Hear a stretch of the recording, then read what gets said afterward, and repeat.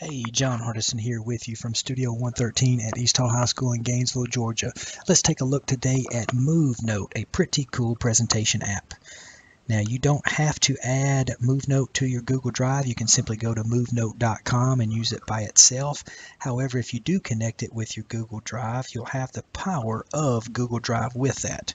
If you're adding it for the first time or connecting it the first time, go to New, More, connect more apps.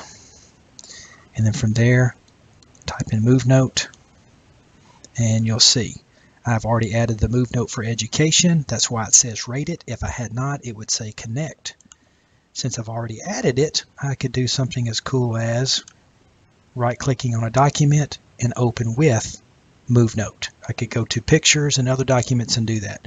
But for the sake of this video tutorial, I'll go to, excuse me, new more, and MoveNote.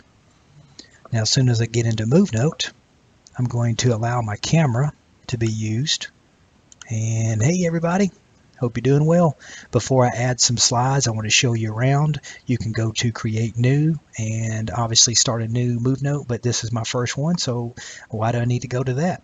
I could also go to Archive, and you could see one that I did here very recently called Smartphone Test, in which I used the MoveNote smartphone app. So please look for that video tutorial. But if I wanted to, I could share this uh, smartphone test with Gmail. I could also click here and share it these number of ways. And then I could click on settings and rename, edit, download, embed, which is very cool. Look at some of my viewer statistics and I could delete this MoveNote. I'm going to go back and I'll allow my camera one more time click close, hey again, and I'm going to edit. I'm going to edit this, I'll call it um, computer test. Since I've already done a smartphone test, there we go. And from here, I'm going to add some slides, and you can see I can go to computer or I can go to Google Drive. And I'm going to go to Google Drive. Let's load a PDF file. This should be six slides and you'll see it's converting up here in just a second. I will add that and then I'll add maybe a picture just to show you how you can do that. Very simple stuff. So you can see I have six slides. This is an assignment that our students in American Literature did. And I'm going to go back now and add a slide from a Google Drive. From here I'll choose a picture that shows the way we were recording in our class and I'll wait for it to upload. Here it is converting. It says one of seven now. I can go to that one very quickly and there's the picture. Now if I want to, I can also reorder. So let's say I thought, well, this one's out of order. I can move it right here. I could also take one and I could drag it and delete it. But I'm going to leave it where it was. Everything looks fine. And then now I will save changes and move. So all there is left to do way too simple again is I would go over here to the red button and I would click record.